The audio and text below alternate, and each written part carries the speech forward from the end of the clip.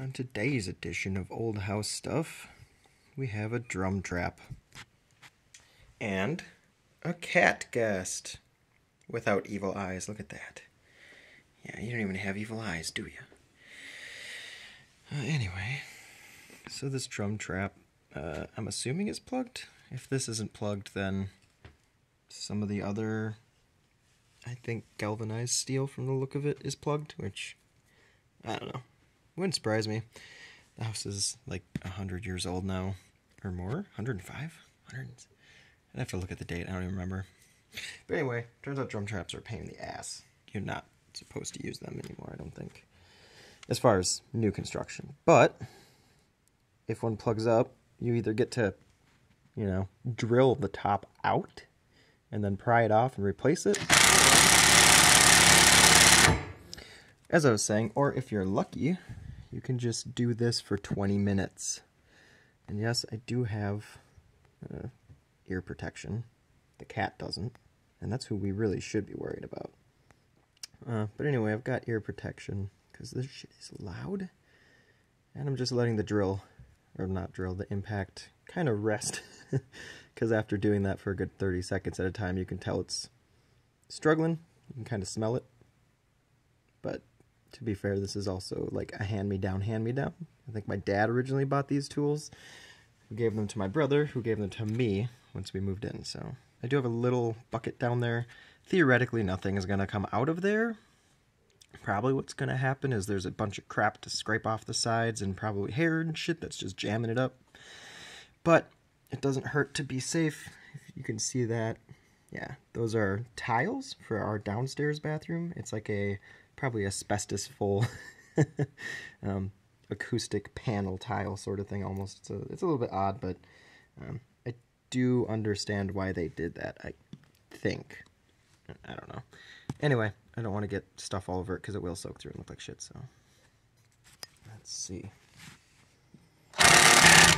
Let's move it a little bit faster, but we're gonna find out what'll give first. I don't know. Um, I did try to use these. Uh, you know, plumbing wrenches or monkey wrenches, uh, whatever you want to call them.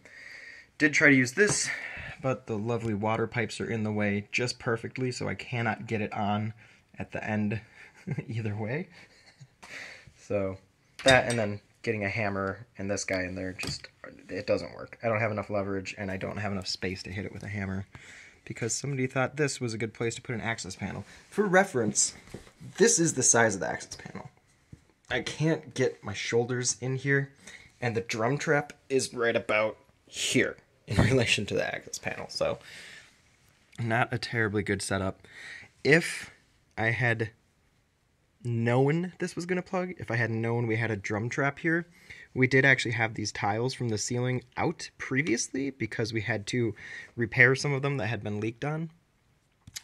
Um, well, replace them, I should say and I would have just cut this whole thing out and put in a P-trap mm, if we had the, I don't know if we'd have the space either um, verticality wise to do that, but well, probably here, we could probably make it work.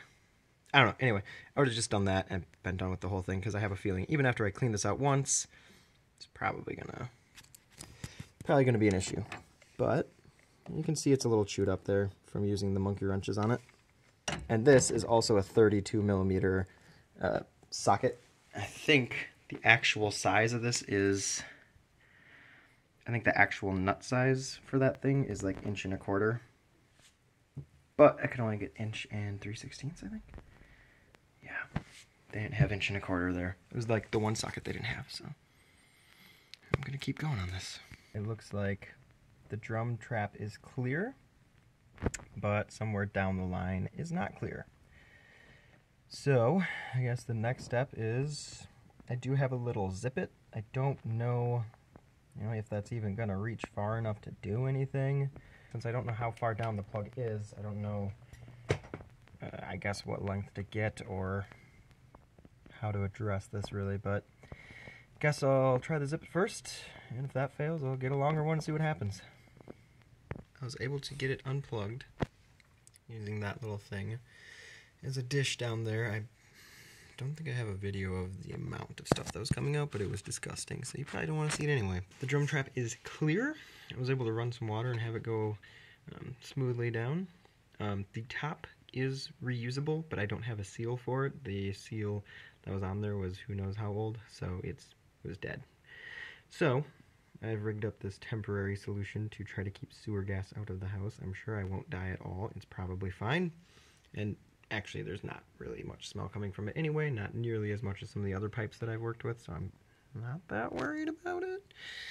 Um, so, what I'm going to do is just stop at Menards or something after work tomorrow and go ahead and grab a new top. I'll be taking the old top with me as a, you know, sort of a reference, but then we should be good to go. Slap that thing on here and call it a day. Alright, it is time for hopefully the final update on the drum trap cleaning saga. Pulled a bunch of nasty ass hair clumps out of there.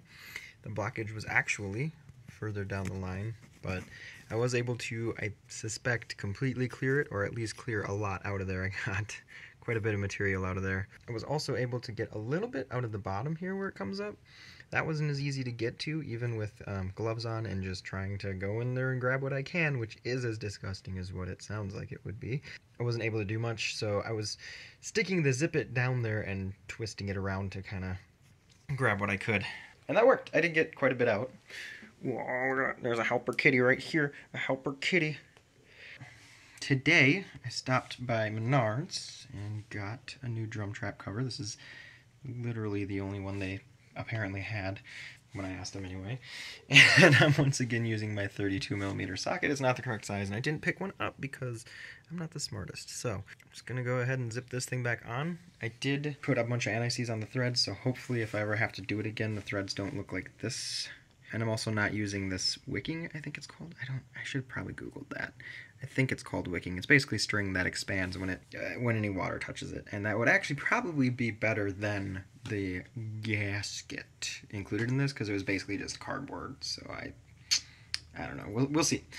We will see what happens. But for now, I'm to zip it back on there and be happy that the damn thing's, you know, just back together so I can take a shower again in this bathroom. I have been taking showers. I should probably note. We have two bathrooms with showers, so, you know. Hey, it looks the same, but it's done. This time I have zipped it on using the Zipperator machine, which I was going through some old video, not that uh, long ago, as in yesterday, and I'm pretty sure we've had these for 10 plus years. Like I said, they were hand-me-down hand-me-downs.